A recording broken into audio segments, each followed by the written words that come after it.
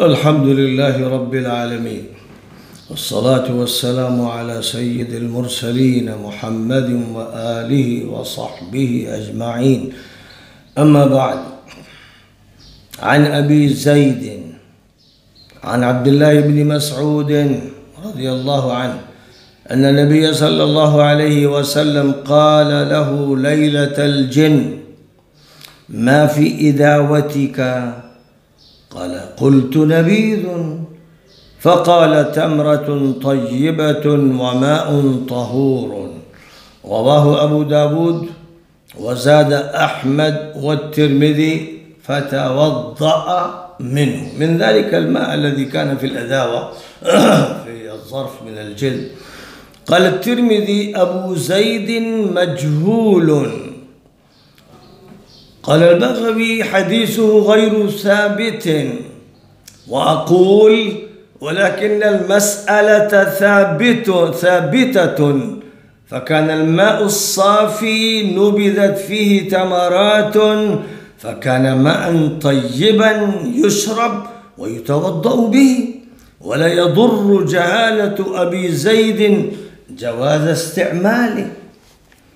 فحديث أبي زيد عن عبد الله بن مسعود عن ليلة الجن كان فيها مع النبي صلى الله عليه وسلم وقد حمل معه ماء للشرب ولقي النبي صلى الله عليه وسلم فيها الجن وترك ابن مسعود في مكان بعيد فلما رجع من لقاء الجن سأله ما في أدعوتك وهو الإناء الصغير من الجلد الذي كان فيه الماء.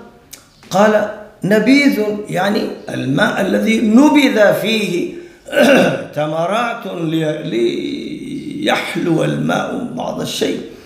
فماء ألقيت فيه تمرات ليحلو. فقال صلى الله عليه وسلم تمرة طيبة وماء طهور. فالماء طهور والماء ليس لزيجا. الماء سيال هو يستعمل للشرب ويستعمل للوضوء كذلك. فليس في الحديث شيء مما يستغرب. وللنبيذ حالات وكان الماء طيبا يصح به الوضوء ويهنأ للشرب. ولكن هنا وفي مثل هذه الأحاديث تقوم قيامة الحرفيين الظاهريين الخائضين في الأسانيد الذين كل نظرتهم في الإسناد. من هو مجهول من غير مجهول من كذا ومن كذا. المتن لابد أن ينظر فيه أولا. إذا كان المتن مطابقا للآيات القرآنية أو مطابقا للأحاديث النبوية الصحيحة فلا يضرنا السند سواء كان صحيحا أو حسنا أو مقبولا أو كان ضعيفا لأن المتن متن صحيح. فقامت هنا قيامة الخائضين في الأسانيد والغريب. أنهم يقبلون الماء الذي فيه النجاسات والقاذورات ويجهدون أنفسهم في إثبات طهارته وقبوله. لأنه ماء بئر بضاعة ولأنه ماء القلتين. فلا يضر أن يكون في ماء القلتين غائط أو بول لأنه لم يتغير لونه وطعمه وريحه ويكفي ذلك. وإن كان فيه نجس وإن كان فيه شيء قذر فمع ذلك يجهد هؤلاء الإسناديون الحرفيون يجهدون أنفسهم ليجدوا مخلصا لاستعمال هذا الماء.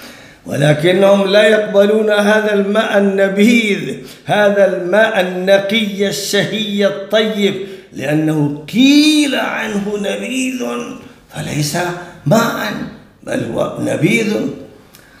سبحان الله يا للغرابة يا للعقول هو ماء مطلق طيب جعلت فيه بعض العنبات أو بعض التمور أو مثل ذلك حتى إذا بقي لمدة قد يسري بعض الحلاوة في الماء. هذا ما يراد والماء أفضل أصبح أفضل وأحسن وأشهى. فليس النبيذ إلا ما نبذ فيه تمرات وعنبات أو مثل ذلك وهو أصلح ماء ماء للوضوء إذا كان يمكن به الوضوء لرقته وصفائه وطيبه. ولكن الطبيعة المنغلقة المعقدة لا تصبر حتى تثير مسائل المسكر والماء المتغير والمطبوخ وغير المطبوخ والرقيق والغليظ وليس هذا الحديث محله إطلاقا. لأنه يتوضأ منه وماء سيال لم يتغير منه شيء إلا أنه قد يمكن أن أن يوجد فيه بعض الحلاوة القليلة جدا. فهذا لا يغير طبيعة الماء. وإذا غير شيئا من اللون فلا بأس لأنه شيء طيب زاد الماء الطيب طيبا. ولكن المشكلة العقول المنغلقة لا تستطيع أن تفكر في المتون وأن تفكر بحرية حتى تفهم الموضوع موضوع المتون المتون الحديثية. بل إنما تدقق في الأسانيد أولا وتدقق في بعض الصفات في بعض الأوصاف التي لا تغير أمرا. ما وقد روى هذا الحديث أربعة عشر رجلا عن ابن مسعود رضي الله عنه وسماهم الإمام العيني في عمدة القارئ انظر المجلد الثالث الصفحة المئة والثمانون وصرح العيني بأن جهالة أبي زيد الراوي عن ابن مسعود هنا لا تقدح في ثبوت الحديث فله متابعات. وما الذي في الحديث حتى يتصدى له الجارحون والمعدلون والدائرون في فلك الأسانيد والحديث ثابت والمضمون ثابت. وكل ما فيه طيب في طيب والطهور في طهور. ولكنه المزاج النفسي الخاص الذي يتكفن بعقلية خاصة لا يهدأ أن يقول. هكذا يقول الحرفيون والذين يسمون أنفسهم أهل الحديث. يقول لم يذكر العين أسانيد هذه المتابعات حتى يعرف حالها وأنها تصلح للمتابعة أم لا ولا يكفي تصحيحه لبعض تلك الأحاديث لأنه ليس من أهل هذا الشأن فلا يعتمد على تصحيحه أبدا. يا للعجب يا للعجب. ذلك الإمام العيني شارح صحيح البخاري الذي دقق في الأحاديث وشرح الأحاديث شرحا مستفيضا دقيقا عميقا فقهيا عظيما. يا للعجب نقل العين الأسانيد ونقل كلام المحدثين وأحال على المراجع ولم تكن القضية تحتاج إلى هذا القيل والقال. ولكنه أراد الاحتجاج لمذهب أبي حنيفة فبحث وأفاض وهو من أهل هذا الشأن بل هو فوق أكثر من جاء بعده بمكان والله المستعان. وعن علقمة عن عبد الله بن مسعود قال لم أكن لم أكن ليلة الجن مع رسول الله صلى الله عليه وسلم رواه مسلم. وحديث علقمة عن عبد الله بن مسعود أنه لم يكن ليلة الجن مع رسول الله صلى الله عليه وسلم لا يعارض حديث أبي زيد. فقد كانت هي ليالي متعددة كانت ليالي اللقاء مع الجن ليالي متعددة لم يكن في بعضها وكان في بعضها. والجمع بين الروايات أفضل من التفريق والمعارضة. قال العلماء الأحناف وقع ذهاب رسول الله صلى الله عليه وسلم إلى الجن في مكة ثلاث مرات لم يحضر ابن مسعود أول مرة منها وهي التي نفى ابن مسعود حضوره فيها. وجاء في رواية مسلم وحضرها في المرتين الأخريين مرة بالحجون جبل مكة ومرة بأعلى مكة. فقد غاب عليه السلام في الجبال فيها ووقع في المدينة أيضا ثلاث مرات. منها واقعة بقيع الغرقد قد حضرها ابن مسعود كما رواه أبو نعيم في دلائل النبوة. انظر المرعاة المجلد الثاني الصفحة المئة والثمانون. ومعلوم أن الجن من أمة محمد صلى الله عليه وسلم حضروه واستمعوا لقراءته مرات. ومما ذكره الله تعالى في سورة الأحقاف وفي سورة الجن.